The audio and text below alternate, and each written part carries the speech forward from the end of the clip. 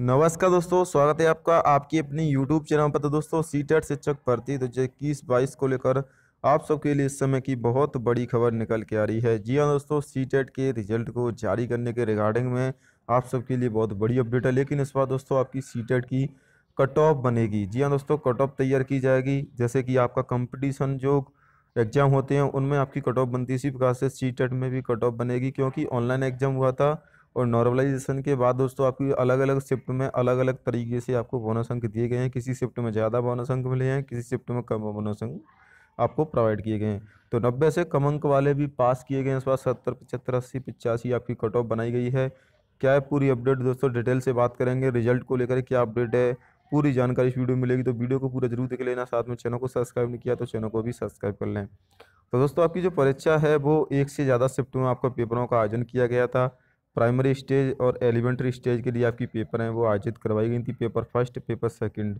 Result को लेकर बात कर लेता हूँ दोस्तों, रिज़ल्ट आज आपका नहीं आएगा, कल आपका रिज़ल्ट है वो सुबह सात बजे जारी हो सकता है। जी हाँ दोस्तों, कल आपका रिज़ल्ट आ सकता है सुबह सात बजे। अगर आज रात को आता है दोस्तों तो भी मैं आपको अपडेट कर दूँगा। हालाँकि आज रिज़ल्ट आने की बहुत ही कम संभावना बताई जा रही है। लेकिन इस बार कट ऑफ़ के आधार पर बनाई गई है। सामान्य कैटेगरी में पिचासी नंबर वाले छात्रों को पास किया गया है, क्योंकि नॉर्मलाइजेशन से जो पेपर का जो लेवल आया था, वो टफ आया था, इसलिए उसको नंबरों को कम किया जाएगा और इक्वल किया जाएगा। इस प्रकार से आपकी कट ऑफ़ बनेगी, क्योंकि मान लीजिए किसी शिफ्ट का पेपर का जो एवरेज है, वो सत्तर आ रहा है, किसी शिफ्ट और शिफ्ट का पेपर का एवरेज जो है नब्बे आ रहा है तो ये जो पेपर आया होगा, ये सरल आया होगा, ये टफ आया होगा तो इसमें जो नंबर हैं वो बढ़ा दिए जाएँगे। मान लीजिए इसमें आपके दस नंबर बढ़ा दिए जाते हैं पंद्रह नंबर बढ़ा दिए जाते हैं तो ये पिचासी हो जाएगा। लेकिन इसमें से आपके पाँच या सात नंबर कम भी किए जाएँगे। हालाँकि नॉर्मलाइजेशन में कैसे नंबर कम किए जाते हैं, ये आज तक किसी को नहीं पता है। तो यहाँ पर अगर भी अगर आप पाँच नंबर कम कर देते तो पिचासी नंबर दे जाएँगे तो इस आधार पर क्योंकि नब्बे अंक पात्रता होता है, लेकिन नब्बे अंक तो किसी छात्र के नहीं आएँगे, इसलिए पिचासी नंबर पर ही सीटेड पास करना होगा।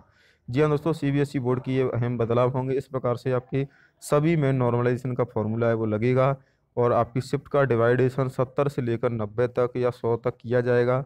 इनका एवरेज सत्तर से अस्सी आएगा। बहुत कठिन शिफ्ट होंगी, आसान शिफ्ट नब्बे से सौ वाली होंगी, मध्यम आपकी अस्सी से पचासी वाली होंगी। तो अस्सी पचासी नंबर वाले छात्रों को भी पास किया जाएगा। ये बिल्कुल सत्य बात है दोस्तों और आपके लिए अच्छी खबर भी है कि स्टूडेंट के पाँच से सात नंबर कम आ रहे थे।